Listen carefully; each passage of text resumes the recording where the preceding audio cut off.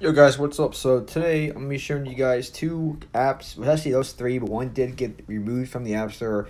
Even I wasn't quick enough to make a video on it. Um, yeah, unfortunately. Um, but at least had two of them guys. I downloaded these two before they removed inside the App Store. It's called uh, Soda, Sotak Fry, and JP Anime. JP Anime's been in the uh, App Store for a hot minute.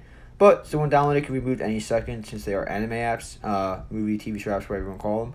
So I'm holding both up. The first one is uh, Sodak Sodak Fry, and this right here, guys.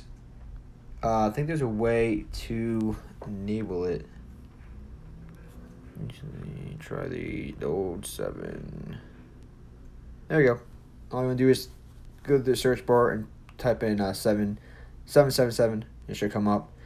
Um, do, do, do, do. Okay, whatever, allow, don't allow, and you guys go. So now you can watch TVs and uh, movies, well, animes specifically. So you see you have all these animes here, and you guys can go and you guys can watch them. And the other app is JP Anime, and we'll just do we'll just do it allow once, or you press allow, whatever you want to do.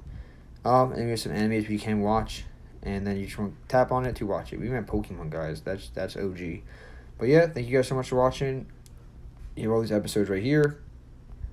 I'll catch you guys in the next one. Like, comment, subscribe, and peace.